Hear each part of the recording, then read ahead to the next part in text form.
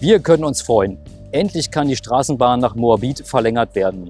Nach 50 Jahren ist es endlich soweit. Und wenn es nach der Linken geht, könnten noch viel mehr neue Straßenbahnprojekte angegangen werden. Denn Straßenbahnen können effizient geplant werden. Sie sind attraktive Verkehrsmittel. Aber der Clou ist vor allem, sie können auch schnell gebaut werden.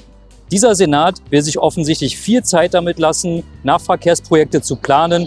Wir haben einen viel besseren, durchgerechneten Plan. Er sollte auf uns hören. die Zukunft gehört der Straßenbahn.